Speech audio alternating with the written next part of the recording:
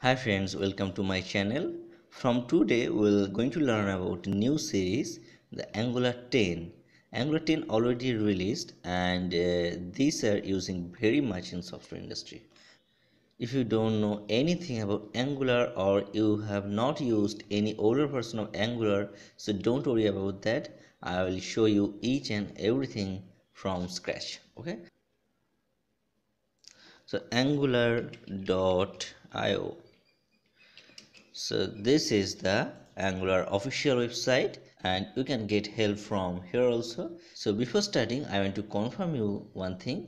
Many of you have confused between angular js and angular. So actually this is the google product and when angular first releases they started as angular js that was basically angular 1 and after that they faces many problems and modifies that version and make angular js to the angular framework. So from angular 2 to up to today's version that is i will going to show you angular 10 the all the angular framework. And we will going to learn about this angular framework only okay?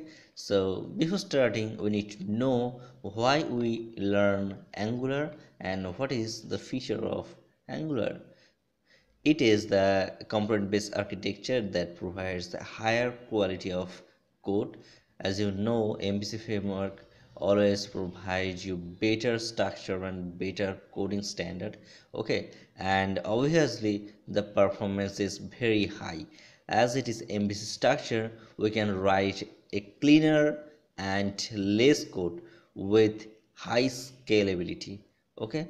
And another important thing is that this is a google product and google maintains this framework and it provides a long-term support from there. And another thing is that this angular framework is open source and it is absolutely free. So we don't need to buy this product. We don't need to purchase any packages or something okay? So there are some special packages if you want to use in your application.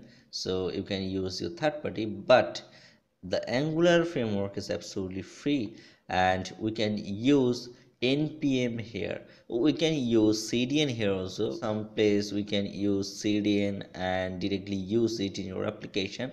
But the best practice is npm 90 percent of person will use npm and i will show you why we use npm instead of cdn so in our upcoming video i will show you why we need to use npm instead of cdn so to get started with angular in this series we will going to learn about the basic understanding that is what is component what is template what is directory dependency injection and there are many things that is a routing navigation forms http clients and internationalization animations there are lots of things. And along with these we will learn about form handling and how to create api how to authorize your application.